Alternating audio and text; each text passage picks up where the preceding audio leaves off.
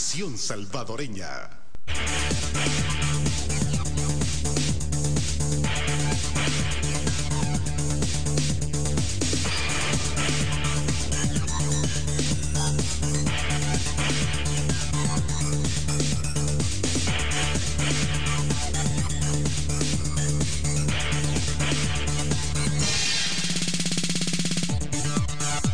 Muy buenas noches y bienvenidos amigos televidentes, sean todos ustedes esta noche como todas las noches de la semana para disfrutar la entrevista 8 en punto. Esta noche, como ya lo habíamos adelantado en nuestras diferentes redes sociales y nuestro enlace con Teleprensa, vamos a estar abordando las repercusiones del clima político de Venezuela en América Latina y también la situación de los veteranos de guerra y las demandas de los cuales ellos han planteado. Para abordar este tema con mucho gusto le damos la bienvenida al doctor doctor Oscar Santamaría, firmante de los acuerdos de paz de nuestro país. Doctor, muy buenas noches, feliz año nuevo y gracias por acompañarnos. Gracias, Sergio, buenas noches. Un saludo de año nuevo también para usted y para los amables televidentes.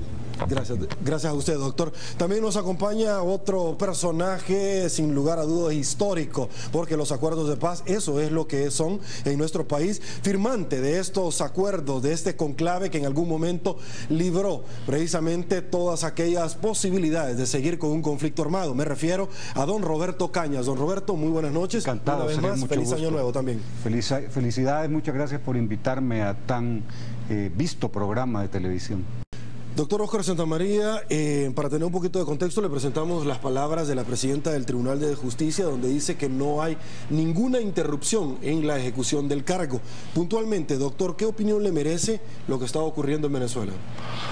Bueno, de nuevo, gracias Sergio por invitarnos y un saludo también a colega y amigo Roberto Cañas, que es parte de este foro.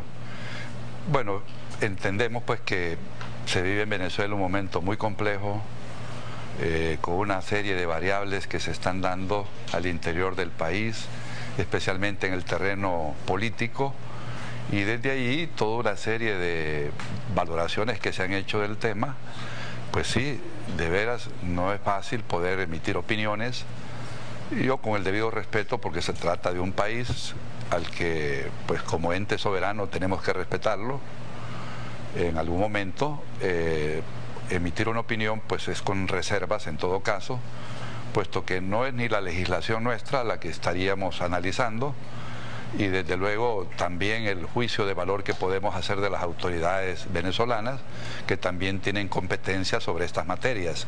O sea que ese es un punto que hay que dejarlo claro porque tratamos de dar una opinión más alrededor de lo que es la noticia que nos llega que de lo que es la parte objetiva que podría hacerse estando in situ en el lugar.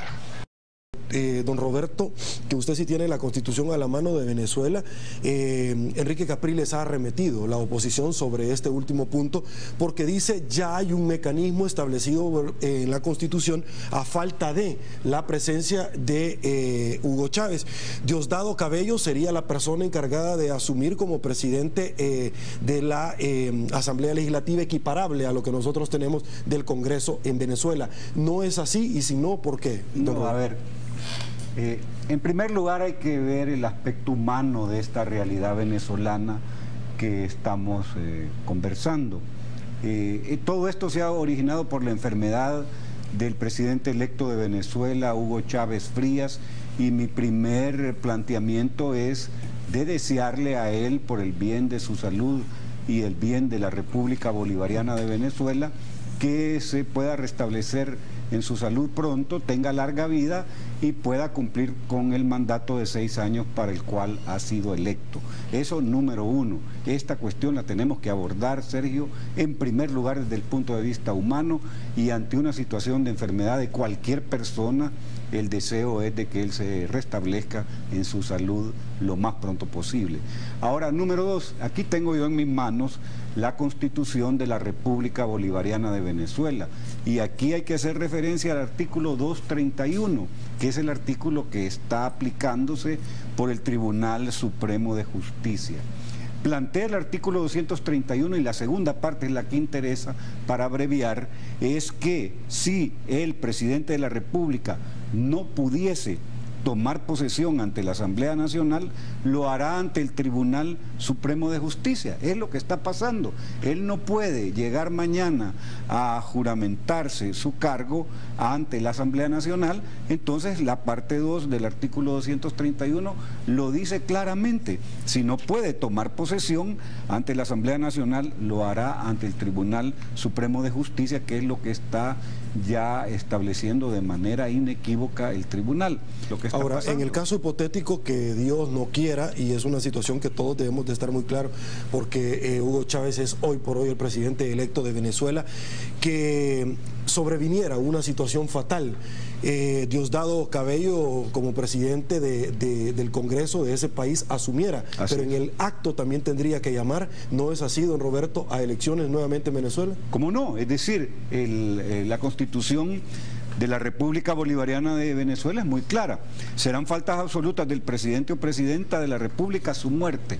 Entonces, ante esa circunstancia, ¿quién asume? Pues asume el presidente de la Asamblea Nacional y él convoca en un plazo que la misma Constitución define a nuevas elecciones. Doctor Santa María, palabras de Enrique Capriles, que en algún momento eh, deseó lo mejor al presidente Hugo Chávez en términos de salud, pero también de pronto en la eh, Audiencia Nacional eh, hasta proponían que un grupo de notables galenos pudieran viajar a la isla cubana para certificar la salud del presidente Chávez y eh, ante toda la audiencia de ocho en punto ha sido más que clara las palabras que sin lugar a dudas conllevan el espíritu de lo que la derecha de ese país hoy por hoy y la posición de ellos está con relación al día de mañana 10 de enero.